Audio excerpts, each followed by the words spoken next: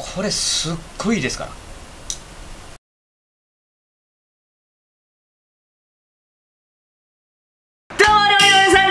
今回はですねコラボ動画でございます。ここにおりますけども。これ唐揚げくんといえばローソンさんとのコラボでございます。そしてですね今回は7月20日発売の新商品のですねこの追いガーリックオイルで仕上げたやみつき鶏僕もね食べたんですけどもこれめちゃくちゃうまいんですよ。これに合わせてですねガーリックライかもねこれねローソンさんで売られてるものだけでできるガーリックライスなんとね3分でできるんですやみつき鶏にめちゃめちゃ合うレシピになってますのでこれを今からやっていきたいと思います。リュウジのバズレシピ。じゃあ材料紹介いきます、えーまずはローソンさんのこの追いガーリックオイルで仕上げたやみつき鶏これねお酒に合う味になってるんですよ。これねめちゃめちゃうまいんで、えー今回はねこれ使っていきたいと。思います、えーそしてですねこのご飯ですね。今回僕はパックご飯ローソンさんで売られてるパックご飯を使用します。もう温めてありますこれ。温かいものを用意してください。あとねバター。で今回は個包装になってるバターあの 7g のバターなんですけどもまあこれは増減しても構いません。10g でもいいし 8g でもいいし。バターが多ければ多いほどバターって感じになりますね。であと調味料は概要欄の方に書いてありますので、えーよろしく。お願いしますはいでは今回はですねローソンさんとのコラボということでローソンさんもう僕のチャンネル相当見ていただいてるらしいので持ってきてくれました。はい。ゴールドマスター。糖質70%これから糖質をガンガン取っていきますんでえちょっと糖質オフを合わせていただきたいと思います。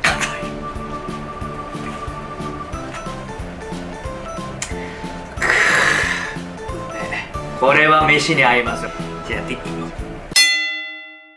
っていきます。まあご飯ね事前に温めといたんで追いガーリックオイルで仕上げたやみつき鶏。これを電子レンジでこれですね封を開けずに600ワット1分40秒らしいんでこれやっていきます。こんな感じでレンジに立てといてでチンします。でその間にライスの方をねやっていきたいと思います。ガーリックライスってニンニクみじん切りしてバターで炒めてでそっから炒めるじゃないですか。で今回炒めません。炒めてたらね材料切る時間も合わせ3分でできないんで絶対に。で今回どうやってじゃあ3分でガーリックライスを作っていくんだって言ったらこれですね、はい、この容器内で全部ガーリックライスにしていきます。まずこのご飯ね。耐熱容器まあお茶碗とかでもいいんですよ。ここに盛ります。そして市販のニンニクチューブ。僕ねいつも生の使ってるんですけども3分でやる場合はもう切りたくないので、えーニンニクチューブ使います。ニンニクチューブねこういうちょ手軽にやる場合はすごく有用なのでそしてバターをバタッと入れていきます。これは僕がさっき常温に置いてたからですねこれね。はい。そしてここにお醤油。ガーリックライスね少しお醤油の香りが香った方がいいのでお醤油を回しかけます。であと僕の大好きなうまみ調味料ね。あのこれが入るとかなりねうまみのあるガーリックライスになりますので。大体ね小瓶のやつの4振りぐらいですね。はいこれ入れます。そしたらねえっ、と大体準備はね OK ですね。でやみつき鶏は温まりましたので、えっとこのまま置いておきます。そしたらここにラップ引きます。で黒胡椒です。忘れてました黒胡椒。黒胡椒はね結構効かせた方がいいですこれこれぐらいかな？でお塩2つまみ。はい。でラップして1分だけチンしてください。なんか混ぜるだけじゃダメなんですかっていう方いらっしゃると思うんですけども混ぜるだけだとですねあのニンニクの香りが勝っちゃうんですね。であとバターも溶けないのでなんで1分だけチンするのが非常に大事です。これ1分以上になっちゃうとあのニンニクの香り飛んでしまいますんでこの1分チンが超重要。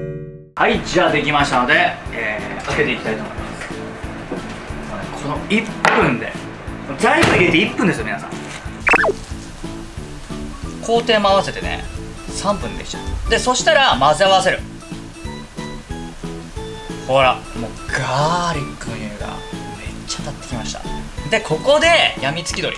でね下にねこのね追いガーリックオイルがね沈んでるんでこれねこうやって入れてください。で全部入れてください。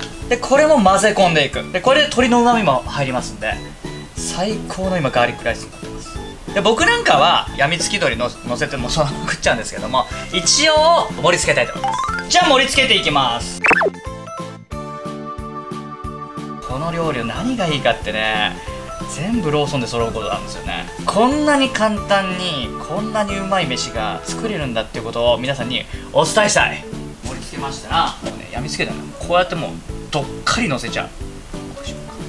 はい。で僕はさらに。あの追い黒胡椒であと、まあ、あればで結構なんでちょっとねパセリをねパラッと散らしていただくと緑があって。こちらで3分ガーリックライス。水やみつき鶏完成でございます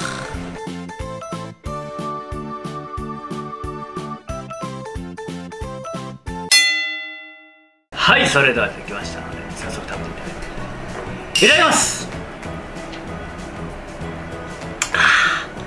いやもうね楽しみでしょうがないんですよこれね。こんな感じですね。はいそしてね今回はねあのなんかもうリュウさんあのぜひおつまみで食べてくださいって言われてめちゃめちゃローソンさんも自信作らしいですこの国産豚の焼き餃子。今回ね食べたいと思います。1分20秒。じゃあいただきたいと思います。めっちゃ柔らかいからスプーンで切ります。からほら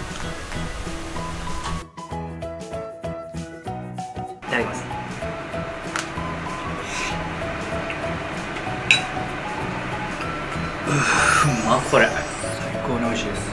炒めたガーリックライスっていうのもすごく香ばしくて美味しいんですけどもこれ簡易的に作るガーリックライスとしてはめちゃめちゃレベル高いですね。焼いたお肉との付け合わせとかだったらもうこれでいいぐらいめちゃめちゃ美味しいです。でそこにやみつき鶏のうまみのたっぷり染みたオイルが加わることによってさらにクオリティの高い一品になってます。でねやみつき鶏がねめっちゃ柔らかくて味しっかりついてるんですよ。これ酒に合うもうローソンさん分かってるねこれね。そして焼き餃子いただきましょうかこれ。どんな味なのかなっていうのを一つ食べてみたいまずそのまま。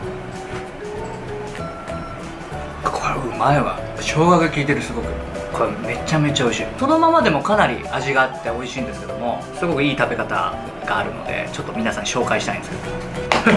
ここにのせるじゃないですか小皿に。卵白が余るんでこれ飲んでくださいうまみ調味料をね少しかけます。12振り。でここに適量のお醤油。これで食う餃子めっちゃ美味しいですから。でこれ卵黄プツッと潰して。これよ絶対美味しいやつです。絶対美味しいやつ。全国の皆さんこれやってください。これ。バリうまいっすから。僕の晩酌風景になってますけどいいっすか？もういいっすね。そう。味変していいっすか？いつも僕が使ってタバスコね。これがねガーリックライスにも合うんだけどやみつき鶏にめっちゃ合うんですよ。酸味と辛みが足されることによってさらにビール泥棒になりましたこれはね。やつは大切なものを盗んでいきました。私のビールです。じゃあ皆さん僕の普段の帰りが遅かった時の晩酌いかがでしたでしょうか？これだけの手間でこれだけの美味しいものができるっていうことを本当に伝えたかったですね。今回の3分ガーリックライスぜひ皆さん作ってみてください。